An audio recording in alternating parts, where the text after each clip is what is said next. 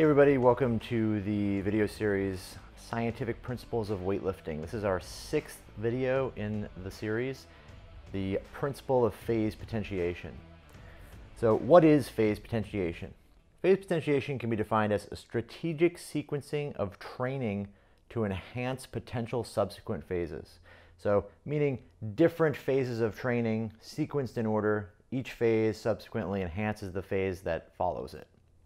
Let's look at the three different phases, the main phases we're going to use in the training of weightlifting. We've got the general phase. This is the earliest phase in the training cycle. What we're going to have here is a development and a focus on GPP. So in this phase, the athlete's going to be mostly focused on general means, so regular uh, exercises, basic exercises that are going to enhance those general qualities. Strength general strength, the strength of the legs, the strength of the back, the strength of different muscle groups. Uh, we can work on weaknesses here to bring up the strength of something like your legs versus your back, or just in general, the overall physical strength of the organism. Work capacity. We're working on developing a very large work capacity in this phase. This is mostly so that in the next phases, we're able to perform enough training and enough work to, to capture the results we want there to some degree, hypertrophy is also a key uh, in this phase. So more as a byproduct of the fact that we're doing such high volumes of training, training for strength, GPP, and work capacity, we're going to have the benefit of increasing some muscular size. If we want to have muscles that produce more force, we have to make muscles bigger in order to do that. How general is based on a lifter's development. Somebody who's very, very new to weightlifting or very early in their career is going to do a lot more general exercises because they need to develop that basic general athletic ability, uh, work capacity, flexibility, strength. All these things are, are necessary for someone who's very new. You can think of it as them having to kind of build this foundation for themselves. Versus somebody who has a lot of experience, or maybe an advanced athlete, an elite athlete that may have 10 or 15 years under their belt, their general phase is going to be much, much smaller, much less general because they've already developed a lot of these basic qualities. They're probably very, very strong.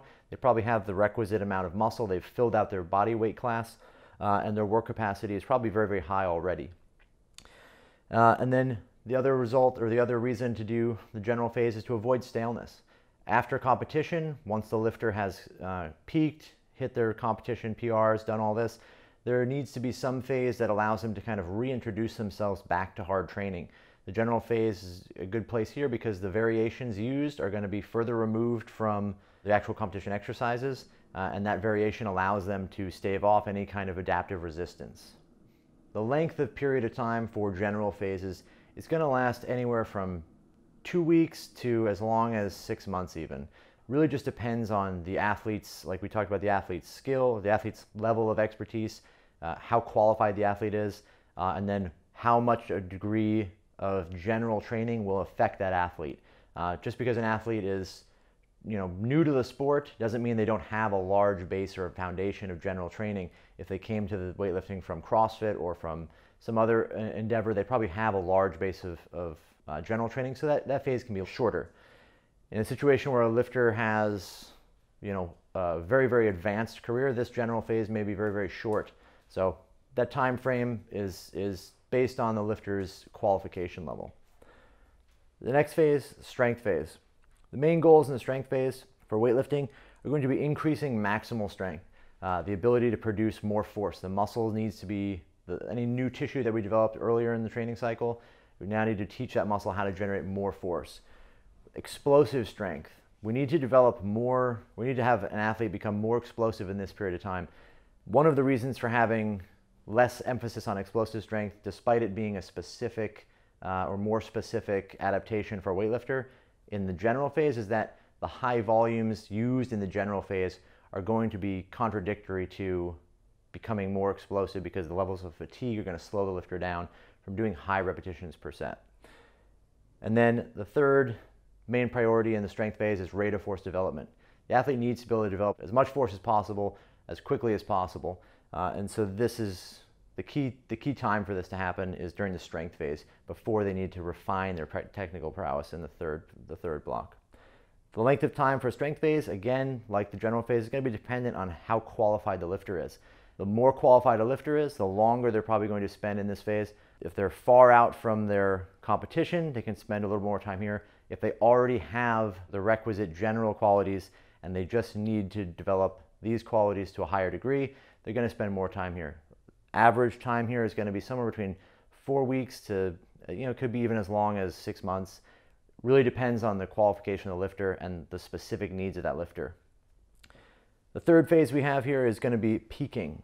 Okay, in the peaking phase, the number one priority here is to develop the technical prowess, the technical skill of the one rep max snatch, one rep max clean and jerk. The main goal during this phase is going to be the management of fatigue and fitness. So they're going to come into this block of training, this phase of training with a high level of fatigue from all the subsequent training phases that have transpired. The main goal here is to decay that fatigue, bring the results of the athlete in the snatch and clean and jerk to the highest level on the day of competition in a predictable manner. We also have the psychological or tactical preparation of the athlete uh, to consider in this phase, uh, getting the lifter ready and confident uh, that they're going to execute perfectly on the day of competition. Uh, this can be anything from building the confidence through reduction in fatigue and improvement in technique to actual visualization exercises and spending time actually uh, you know, directing some energy towards that process itself. The average time for the peaking phase is going to be a little bit shorter based on how long the other two phases are or based on how far out the competition is, uh, how much the athlete needs to spend time developing technical prowess. These can be anywhere from one week, two weeks to uh, four weeks to six weeks or so. Really depends on the size of the athlete and then the qualification of the athlete. Let's look at some proper applications of phase potentiation. So sequencing of phases. How do we order these phases? How do we place them in the correct order? Uh, obviously, just like if you were building a, a building or a skyscraper, you have to start with the foundation. The very first thing that's done is a foundation is built. It's important to note in the analogy of a skyscraper versus a training process that the foundation is built first before they actually build the structure itself. Just like in our training process, the general phase needs to be finished and completed to some degree before the next phases uh, occur.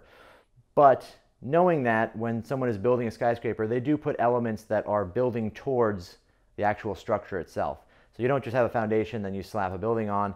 Same with the general training. There's a, continu- there's a continuation and a preparation for the strength phase to take place. This occurs through certain things like having the right variations, the right exercises to transfer from one phase to the next, uh, preparing that technique, going from very basic technique to more complex technique. These things just need to be thought of in a way that you're planning for the general phase to transition into the strength phase. After the foundation's been built, the strength phase can be equated to basically the actual building structure itself. This is where the main height of the building is developed. Many, many floors are built on top of each other. That's the bulk of the training here that's going to take place for a lot of weightlifters is in the strength phase. The, the execution of the technique is going to become more refined. The more specific qualities are being done here in this phase, just like in the skyscraper. The bulk of the actual building itself relies there. Then the final period, the final phase, the peaking phase, could be equated to the top of a skyscraper or even like the antenna. It's very, very small, uh, but it does actually increase the absolute height of the building. So at the very, very peak, we have this, this tiny phase or the smaller phase that basically rounds out the entire uh, training process. Just like in a skyscraper, that little peak, the top is going to be the thing that caps off the training uh, and is at the very end to bring the results to the highest possible level. With the peaking phase, when it capitalizes on all the training done before uh, by maximizing our results there. Balancing directed adaptation versus adaptive resistance. Having phases that are directed unilaterally at one quality primarily are going to benefit us more because we can spend more energy directed at that one thing we're trying to do. If our goal here is to develop work capacity and strength and hypertrophy, then we can put all of our resources into that quality and achieve a higher result in that because of the directed work we're doing uh, in a unilateral way on that stuff. Same for strength, same for peaking. We're, we're directing everything we can to that uh, versus having phases that are very, very similar, maybe include all of these different things or a concurrent program that has all things developed at the same time we don't have the luxury of putting as much energy into each quality or each thing if we're doing that every single week or every single month. Every training block is homogeneous. The other main benefit or proper application would be the strategic phase length based on the, the calendar year uh, or the lifter's needs. So breaking these qualities into different phases allows us to really capitalize on spending time on weaknesses, spending time on the thing that the athlete needs to develop to become better. Uh, for example, a lifter who is very, very weak and lacks physical strength, lacks, you know, they're too light in the weight class, they're too tall for the weight class, they can spend more time in the general phase and capitalize on what they need to, bringing themselves to a higher result faster because they were able to spend time on the thing that they needed to work on most. Based on the calendar year, the further out from competition, we can spend more time again on things that are more important rather than having to, you know, for example, maintain top level skill and the absolute perfection of the movements in the peaking phase from through a year, we can spend time developing the underlying things that are going to bring the results higher at the end. A misapplication of phase potentiation would be really an improper sequencing of these phases. Doesn't make a lot of sense to have someone doing a general phase of training right before a peaking phase, right before a competition.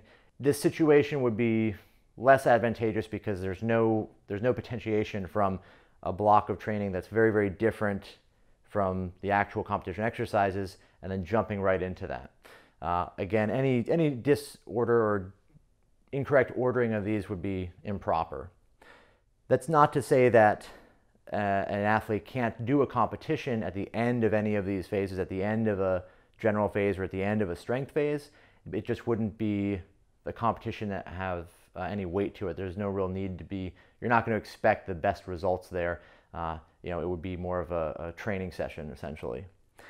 An improper length, okay? Too little of any of these phases. Uh, a week of general training, uh, two weeks of strength training of a strength phase, and then uh, five weeks of a peaking phase is probably not going to be the best scenario for the, the best results, right? We're not really able to accumulate any kind of adaptations with those really, really short training blocks, and you're going to end up in a place where you've, you've not built anything, right? And then too extreme a variation between phases. We don't want to have a huge drop between these phases because a change in, in general training going from, let's say, high repetition general exercises, eight and 10 reps in the squat, to a dramatically big shift or a dramatic shift in the strength phase of doing sets of two and three with near maximum weights in the squats. Uh, that shift is really big, and that's going to be a situation that doesn't lend itself well to potentiating one phase. You're going to have a huge drop off, there's going to be kind of a shock, and then it's not going to really do what you want. And then the, the last would be really not doing it at all, having essentially uh, the same exact program done throughout the entirety of the training cycle of the training year. Uh, if the lifter is doing, you know, trying to accomplish all of these goals at the same time or just neglecting certain things in exchange for using just one narrow band of training, right? We're only using those type of methods that would use in a peaking phase, near maximum snatch and clean and jerk year round. There's no phase structure there. Uh, same with strength or same with general. You wouldn't expect to become a good weightlifter doing sets of 10 in the squat year round, right? If you guys like what you heard here, go ahead and subscribe or go check out jtsstrength.com.